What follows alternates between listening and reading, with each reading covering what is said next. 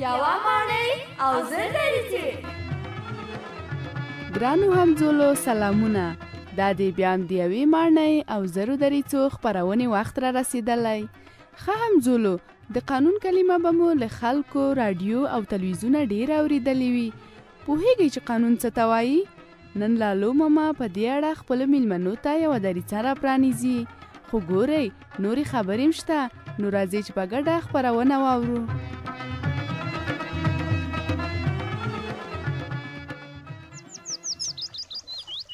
هارونه هارونه هغې خوا ته وګوره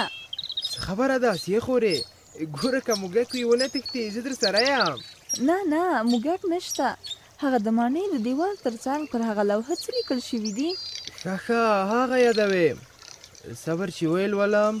د قانون پلي کېدل د جرم او جنایت مخه نیسي. دا قانون قانون هر وخت اورم خو نه پوهېږم چې قانون څه ته وایي. قانون قانون دی نو لکه آسیه چې آسیه ده. ټوکې مه کوه سمه مې پوه که ته څه وایې. آسیه نور زه هم نه ورباندې پوهېږم دا به له لالو ماما نه وپوښتو. عمر یې ډیر دی چې څنګه دې یاد کړه هغه دې راښکاره شو اوهو زما خوږو میلمنو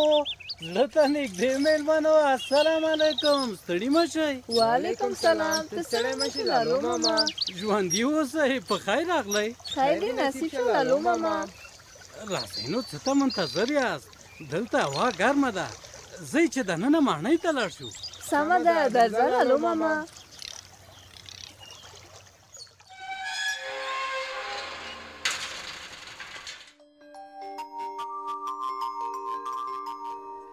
لالو ماما په انګړ کې یو لوحه وه ورباندې لیکلي وو د قانون پلي کېدل د جرم او جنایت مخه نیسي او هغه څو لوحې مو د پاچا سلامت په امر لګولې دي لالو ماما دا قانون قانون هر وخت اورم خو نه پیږم قانون څه ته وایي آسیې ولې نه دې دې لیدلی قانون هغه یو کتاب دی چې د پلار په المارۍ کې ایښی دی نو کتاب څنګه د جرم او جنایت مخه نیولای شي؟ دا به جادويي کتاب وي نو. نه نه جادويي کتاب نه دی. دا چې قانون څه ته وايي زه به په دې اړه یوه دریڅه درته راخلاصه کړم. دا دی دا یې هم دریڅه. ګرانو همزولو سلامونه! زه د ماڼۍ خبریاله یم، دا دی نن بیا هم له یوې نوې موضوع سره راغلی یم. ډېر ځله به مو له خلکو، راډیو او تلویزیونه د قانون کلمه اورېدلې وي، خو پوهېږئ چې قانون څه ته وایي؟ نوم مې سنګر ده. قانون یعنې حاکمیت، بې قانوني کار ونیسي، باید دولت وسېږي، قانون وسېږي، خلک په همغه قانون باندې عمل وکړي او مخکې لاړ شي. نور نه پوهېږم، خو همدغسې ده لکه اساسي قانون. قانون باید ښځو ته هم یعنی ارج گذاری وشي د خپل حقوق نه په سمه توګه استفاده وکړي جلال الدین د درګې او میرکلان که موږ خپل قانون مراد کو یعنی موږ ملک یا خو ولایت او ولسوالۍ پرمختګ کولای شي دا قانون که مراد نه کی نو موږ پرمختګ نشو کولای د قانون کلمه د لاتین کلمې مقیاس څخه اخیستل شوې. وایي پخوا زمانو کې انسانانو نه شوای کولای چې په جلا جلا توګه خپل ژوند مخ ته یوسي دوی مجبور وو ځینو پریکړو ته ځانونه تسلیم کړي د ژوند د ښه نظم لپاره دو پریکړو ته دوی د قانون په توګه کتل ښه اوریدونکو د دوی په خبرو کې خو مو واوریدل چې د قانون په اړه یې ډول ډول خبرې وکړې خو دا چې د قانون تعریف څه دی په دې اړه به د حقوقي برخې د کارپوه فرید احمد یوسفزي خبرې واورو. قانون یو یوناني کلمه ده چې ریښه یې په سریاني ژبه کې ده. په سریاني ژبه کې نه یا کړکي ته وایي. بیا دغه خپل قانون چې اوس زموږ او تاسو په ټولنه کې ورته قانون وایي دا ماده جز فقره بند په بند ده د دغه لوجه نه چې دام د بندونو تشکیل شوی ده ورته قانون وایي قانون د حکومت له خوا وضع کیږي پارلمان دا تاییدي چې هغه د خلکو نمائندگان دي د دغه لپاره چې خلک یعنی د دین آگاه شي چې دا قانون وضع شو د قوی اجرایی یا د حکومت لخوانه دا په خلکو باندې تطبیقیږي هغه هم په زور او قوت سره قانون چې کله په ټولنه کې وضع کیږي یو شان په ټولو اتباع باندې کیږي که هغه والی وي وزیر وي ولسمشر وي عادي خلک وي او بزګر وي په ټولو باندې السویه تطبیقي قانون د چا مراعات نه کوي د یوسفزي صاحب په خبره کې خو مو د قانون تعریف واورېده چې ویل یې قانون د سیریاني ژبې ریښه لري چې نای یا کړکي ته وایي قانون د حکومتونو لخوا جوړیږي د ملي شورا دواړه جرګې یعنی ولسی جرګه او مشرانو جرګه یې د مادو په اړه خپل نظرونه ورکوي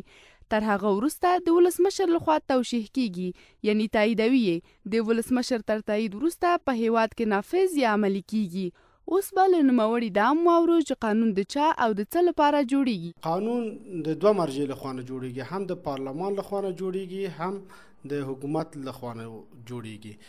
مجموعه قواعد و مقررات ده چې د جامعې د ښېګڼې او د جامعې د پرمختګ لپاره وضع کیږي ځکه چې په ټولنه کې افراد ژوند کې د دوی ترمنځ دعوا راځي د دعوا د حل لپاره دوی ضرورت لري یو قانون ته یو مرجع ته چې د دوی دعوا حل فصل کې بنا د دغه دعوا د حل فصلولو لپاره قانون وضع کیږي د حکومتونو لخوا تر څو چې په ټولنه کې نظم تامین شي یو سړی نشي کوي چې په چا باندې ظلم وکړي که ظلم وکړي قانون ورته سزا ټاکل دغه په مقابل کې مجازات ویني هدف درې شان دي یو د اصلاح د مجرم ده بل دفاع د جامع ده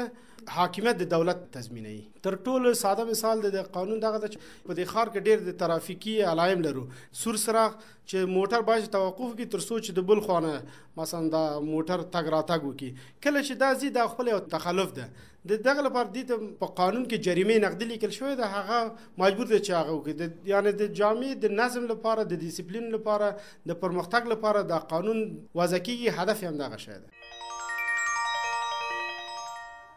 ښه ښه اوس پوه شوم چې قانون څنګه د جرم او جنایت مخه نیسي حکومتونه یې پر خلکو عملي کوي هو قانون د هر هیواد د دولت لخوا په ټولنه کې د نظم او کارونو د ښه تنظیم لپاره جوړیږي د هر هیواد خلک مجبور دي چې قانون پر ځان عملي کړي که عملي نه کړي د دولت لخوا جزا ورکول کیږي هو ولا خدي چې هر څه ته قانون شته که قانون نه وای هر چا به په خپل سر کار کاوه او بالکل خلک باید د خپل هیواد ټولو قوانینو ته احترام وکړي ځکه که قانون عملی نشي ګډوډي او ناامني رامنځته کیږي هارونه څه شي ته ګورې هغه پر دیوال باندې عکس وګوره ته څنګه ښه وړوکی موټر غوندې شی هغه د کروندې په منځ کې ولاړ دی هو هو ته وګوره لاندې څه ورته لیکل شوي دي لاندې ورته لیکلي دي خیشاوه کوونکی روبات ښه ښه یعنی دا روبات له کروندو بیکاره بوټي لري کوي او بالکل والا ډیره جالبه ده دا څنګه روبات دی چې خیشاوه کوي له تاسې څه پټه دا روبات بې د کوم انسان له مرستې له کروندې نه ارزه او بېکاره بوټي لرې کوي. ولا جالبه ده لالو ماما نو روبات څنګه پوهېږي چې دا بېکاره بوټی دی او دا د کار. لالو ماما هلته یوه دریڅه راخلاصه کړه چې دا څه ډول روبات دی. ولې نه لالو ستاسې خدمتګار اریا و امر ته تیار دریڅې تر تاسې زار.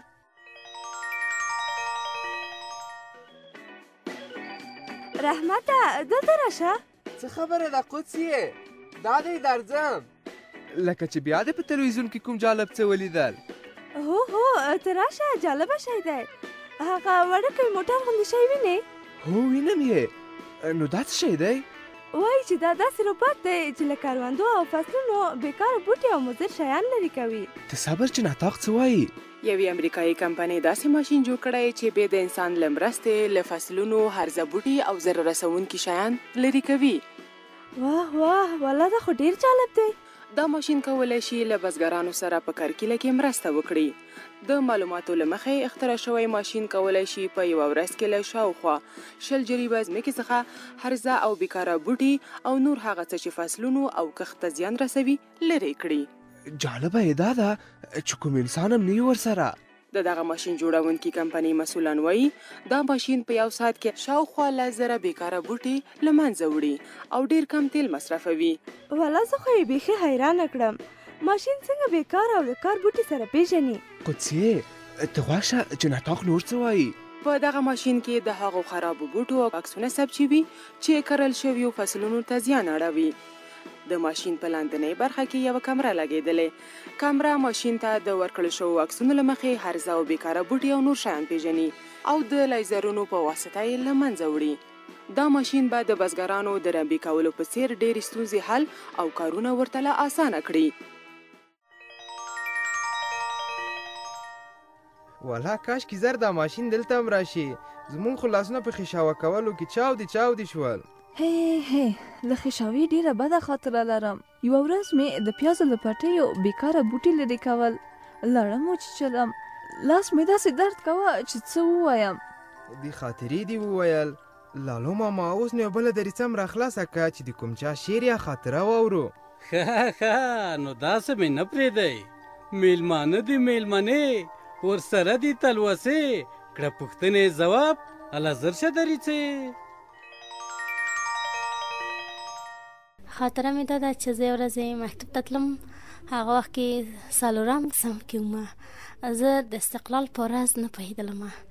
سهار چای مې ونو څکله چپس مې ځان ته وکړه لاړم مکتب ته ډېر په شوق باندې لاړم ښوونځي ته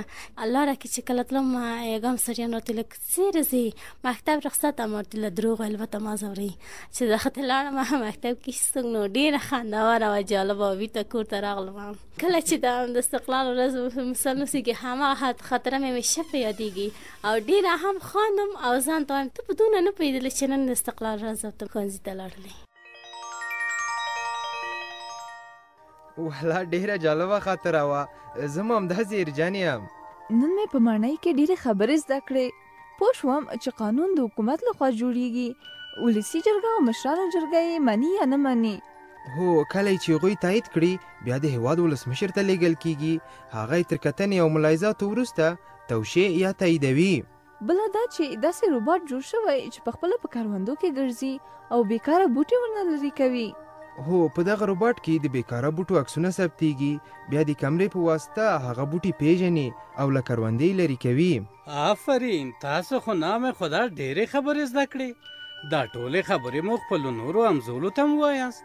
سمه ده لالو ماما لالو ماما اوس به نو موږ کور ته درنه لاړ شو چې ناوخته نه شي سمه ده چې ستاسې خوښه ده زما هم خوښه ده ښه نو د خدای په امان لالو ماما ورځئ په مخه مو ښه شه